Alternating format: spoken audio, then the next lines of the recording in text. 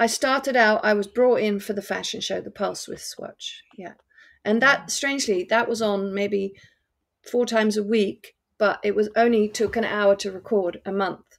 So initially, when I started, I was earning a hundred pounds a month. That was it, because I it only took wow. it took only took an hour to record. Um, wow. And then the rest of the time, I was still modeling, I was doing my band, and I was waitressing. Um, and it wasn't until Simon Mills, who was the editor of Sky magazine, was being served a pizza by me at this restaurant called Orso. And he looked at the pizza and looked up at me and went, Aren't you that girl on MTV? And I went, Yes, and would you like some pepper with that? Oh my god! and and we went out to lunch, you know, um, but it was a bit embarrassing.